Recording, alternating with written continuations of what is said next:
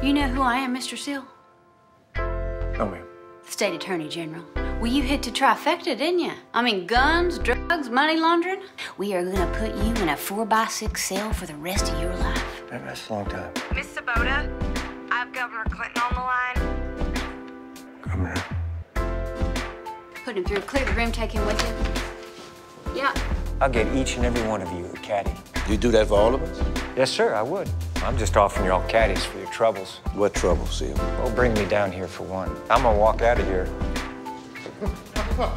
there ain't a damn thing any one of you can do about it.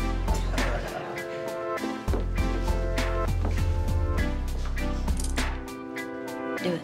Wait, wait, wait, wait, wait a No, minute. huh? no. What the hell you mean he's free to You wanna go? explain what's going on here? He's free to go. Free to go. You boys should have taken the caddies. I'll be seeing you, Seal. Ma'am?